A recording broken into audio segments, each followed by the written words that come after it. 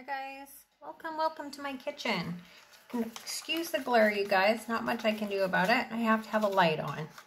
So here we go. Let's modify that bloom. Okay, this is our base paint, which is about 25% Floetrol and 75% paint. Just, my paints haven't been working right. I don't know what's going on, so I've kind of just kind of been tweaking things here and there, you guys, until I get back to where I'm happy with it. So hopefully this is it. Like I said, you know what? It's only paint. Some days it works, some days it doesn't. I wish I could tell you why, but I can't. It's super frustrating. Um, I definitely get it. Very much so. Okay, so we got Pebeo Red Blue, a little bit of metallic purple. This is another Pebeo color. This is blue green or green blue. Blue green, I think. Homemade yellow. Just for a little splash of color here and there. Kind of a mustard yellow.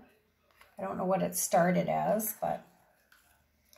And a little bit of, you got it guys, lime. Look at that. Look at that beautiful color. You guys all think I'm bananas with my thing for lime.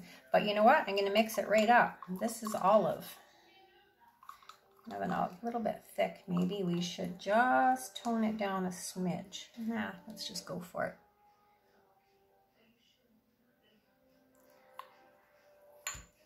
And then this is um, Color Shift I think it's called Violet Flash. It's quite pretty. It's iridescent -y. Let's plop some of that on. This is DecoArt White Satin Enamel mixed with Amsterdam White. We're going to plop that in the middle of all this. And we're going to go with Black Cell Mix tonight, guys. Oh, that was very well executed. Excuse my sloppy sloppy daub. That's terrible. Oh well, that's the way it goes. And you know what? I'm going to add some more green around the edges. This is a fairly good sized tile, maybe 10 by 10. Gonna maybe need a little bit more paint.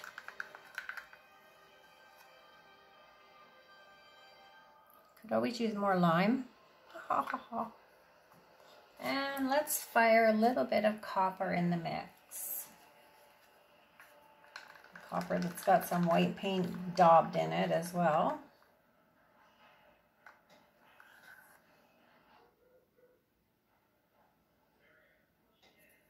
All right, guys, here we go. Quick fire when I can find it. There it is. Torch out a few of these bubbles. Okay guys, I'm gonna have head in the picture for just a second.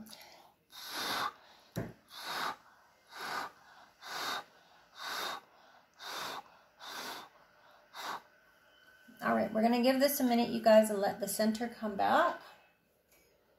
I'm gonna have a sip of water while I'm waiting because I've got that raspy throat thing going on again. Think it's because my house is quite moist, so I have a dehumidifier going at night, and it uh, I wake up with that raspy, raspy sounding voice. Okay, let's blow this out a bit more.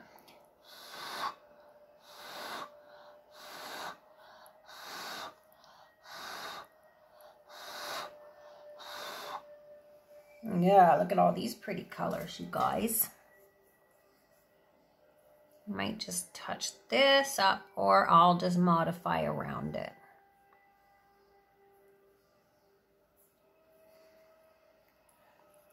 What should we do? Shall we modify around it? Oh, I don't know. Let's just do it. Okay, guys, with your kebab stick, here you go. We're going to just modify our bloom like we've done many times before.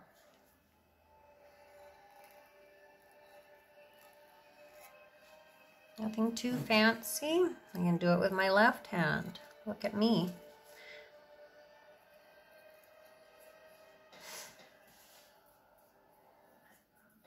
Okay guys, I think we're going to stop that there and add a little bit of paint.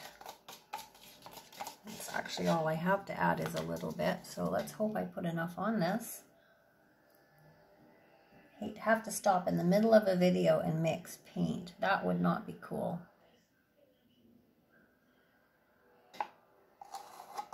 Okay, let's see what we can do, you guys.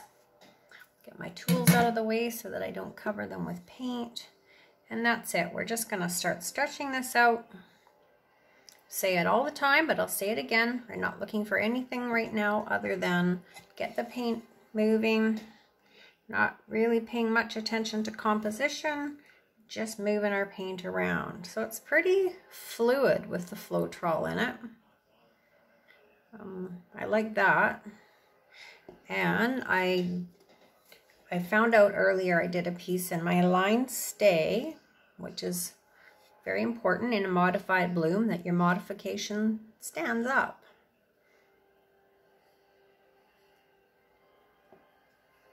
Okay, I'm going to bring it back to this side.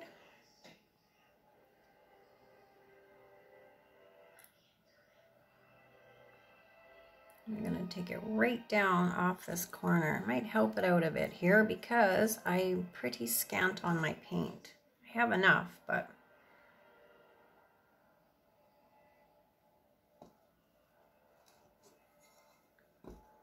All right, guys, back to center we go again.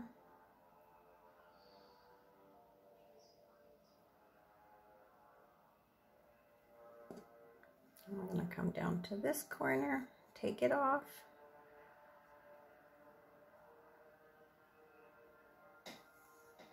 And back the other way. This has got some beautiful colors going on, you guys, as you can see.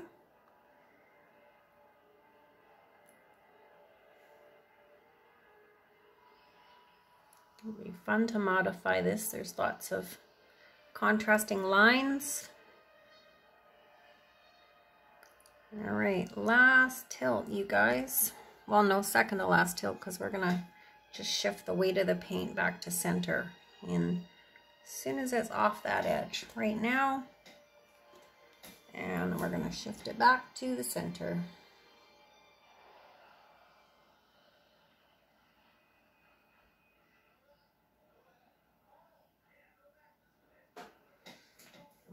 Okay. So we're going to stop that there. And I'm going to turn it a little bit better for me. And that's it, guys. We're going to go back in with our kabob stick and we're not going to do a lot because it's quite pretty as is. Hmm, here we go again. Okay, um, let's just add some lines. Let's just break it up a bit. We're just adding some little points of visual interest just to change things up. Doesn't have to be a lot. Doesn't have to be any if you don't want. You all know I've done a couple pieces lately where I haven't been able to modify it. I just want to leave it alone. But it's fun to make some little, just break some, break some lines up a little bit. So this is nothing more than the round end of my kabob stick. I'm just going down the line very simple, as you can see. And when it starts to break up, it creates this funky little, like a ladder or something. Chain. Not a ladder, a chain, you guys.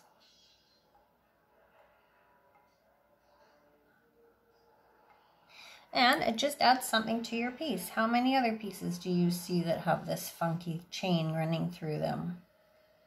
None. Yours, when you do it to your piece. I don't really want to add too much again. I'm pretty happy with this. hmm.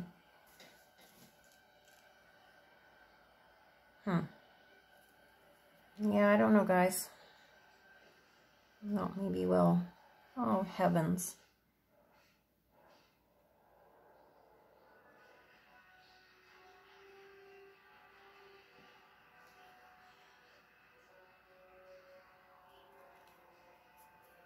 You know what? I'm going to stop here, you guys. I'm liking what's happening. I don't want to wreck it. And again, I have to exercise restraint. So I'm going to bring it down. Take a quick look. I'll try to get my hand out of the way. Look at that, you guys. Beautiful. Beautiful little